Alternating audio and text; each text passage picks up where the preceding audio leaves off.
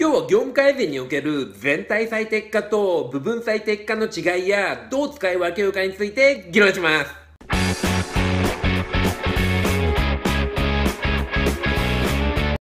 こんにちは。リンシグマブラックベッドのマイク・ネガミです。業務改善コンサルをしています。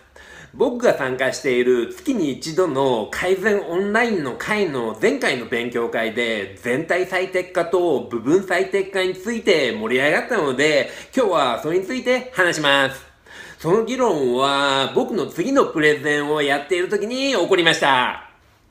1980年代日本経済は絶好調でした。日本の製造業の強みは現場の声を聞いたり QC サークル活動などのボトムアップ系です。しかし、このような個別の改善活動は大事ですが、それだけでは会社全体としては部分最適で終わってしまい、全体最適化へは及びにくいです。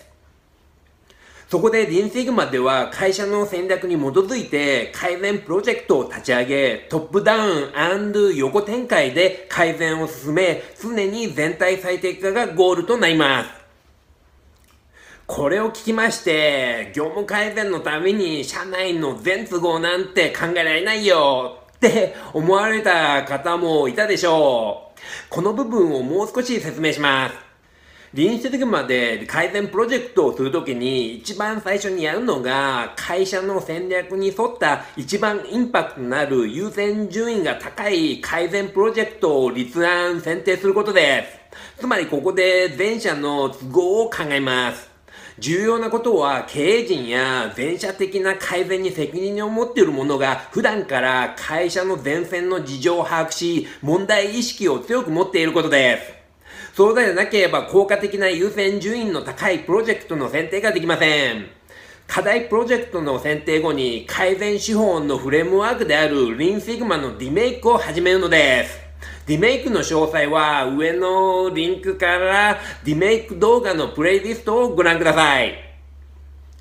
これはプロジェクト検証のテンプレートですが、リメイクの最初の定義段階で、プロジェクトの目的目標を定義し、今回改善する対象業務を明確にします。ここで定義した事柄に対して全体最適化を行うわけです。逆に言うと、ここで対象になっていないことの都合は考えなくても良いのです。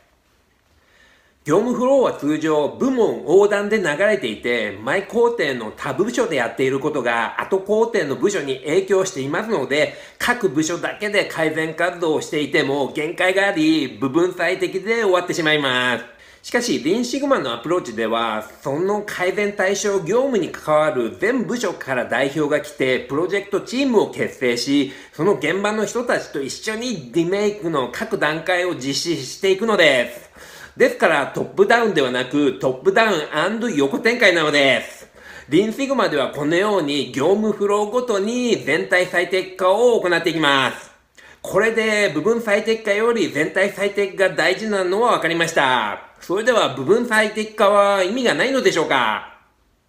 そんなことはありません。まずは全体最適化と部分最適化のそれぞれの長所と短所を比べることで、その2つのバランスの良い使い分けを考えてみましょう。全体最適化の長所から見てみます。無駄を削減し、最大の効率性と生産性を目指せます。問題や無駄がなくなり、作業員の士気が上がり、そして個々の役割分担が明確になり、標準化も進みます。次に短所ですが、実施するのに時間もコストもかかり、規模が大きくなるので実施の難易度が上がります。実施するのに適切な知識とスキルが必要なことなのです。要は誰でも実施できるものではないということですね。部分最適化の短所は全社的に見たら無駄が出たり、さらに生産性が上がる余地があるのを見逃すことです。部分最適化の長所は全体最適化の短所の逆の内容です。つまり、誰でも個人でも自分の仕事内や部署の範囲内だけで実施できるのです。僕にはマスターブラックベルトの剛正宏さんという師匠がいます。全体最適化と部分最適化の違いに関してご意見をいただきました。そしたら、全体最適化と部分最適化の違いは損益計算書、つまり PL で考えれば簡単ですよ。と言われて目から鱗が落ちました。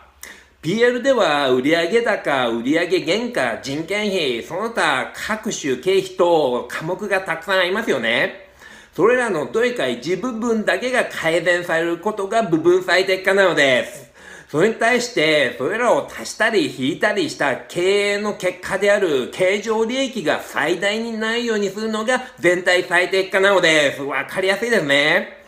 例えば自分が実施した部分最適化によって少し売り上げが上がったらそれは努力に値するのです。ですから全ての従業員はたとえ部分最適期で終わったとしても業務改善はした方がいいしそして全社に責任を持つ人はそれらの部分最適化活動も把握し必要があれば、それらを全体最適化プロジェクトに格上げをすることにより、経常利益の最大を行うのです。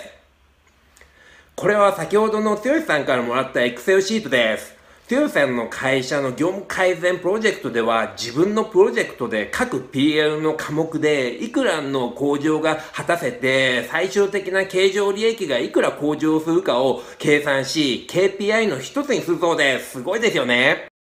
剛さん、今回もありがとうございました。